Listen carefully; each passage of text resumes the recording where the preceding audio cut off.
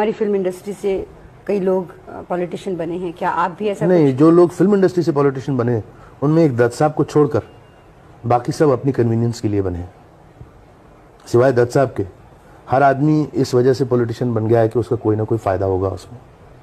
और होगा? और हो रहा है। हो रहा है। क्या आप कभी कभी नहीं में जाएँगे? कभी नहीं।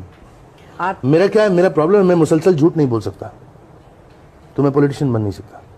पॉलिटिशियन बनने के लिए झूठ बोलना बहुत, बहुत है। अवश्य है। क्योंकि कितने लोगों को खुश रखना है? अगर भारत में करप्शन कुछ कम हो जाए।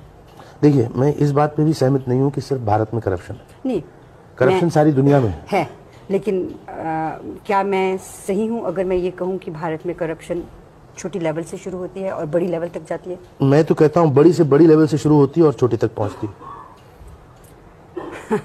जी उसकी वजह है। कि अगर मैं एक नौकर हूँ अगर अपने मालिक के यहाँ काम करता हूँ मेरा मालिक शराब नहीं पीता जुआ नहीं खेलता। मेरी हिम्मत नहीं होगी कि मैं घर के अंदर शराब पी के जुआ खेल के घुसूं।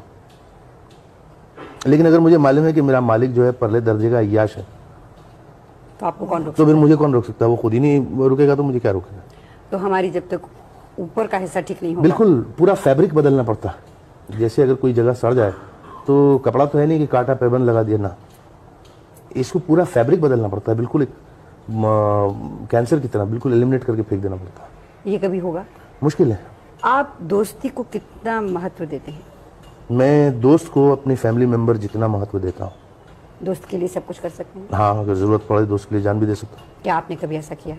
मैं कई बार मरते मरते बचाऊँ दोस्तों के लिए लेकिन मैं उसके बारे में बोलना नहीं चाहता। बोल दिया तो फिर दोस्ती खत्म हो जाती है। खत्म हो जाती है। सही कहा आपने।